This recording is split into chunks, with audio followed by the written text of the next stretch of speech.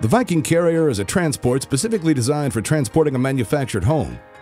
Through simplifying, streamlining, and strengthening the transport system, the Viking Carrier provides a smoother and more reliable operation on every level. Today's homes have completely outgrown the old tire and axle assembly because they've dramatically increased in size, weight, and quality. Unfortunately, the way these homes are transported has not evolved.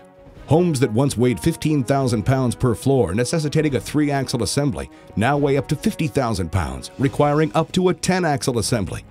This creates substantial problems for safety, cost, and convenience. By adding more wheels and axles, homes do not turn corners smoothly and effectively, causing a severe strain and breakage on the old recycled axles. The tires, instead of rolling, are literally dragged around corners. This and the excessive weight of the load they're trying to haul are contributing to an average of 14 to 24 blowouts in a thousand mile trip. By adding too many tires and axles to accommodate the weight regulations, manufactured homes tend to drift dangerously from side to side on the roadway and rarely travel in a straight line. They arrive at their destination damaged due to excessive vibration and poor suspension. A loose tire and wheel assembly can crash into oncoming traffic, creating serious injury or death. Currently, these homes are being transported with an inadequate electric braking system, making it impossible to stop quickly, thus adding to potential harm to others.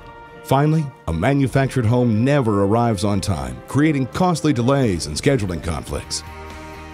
Please play our next video entitled The Solution to see the revolution in mobile home transportation.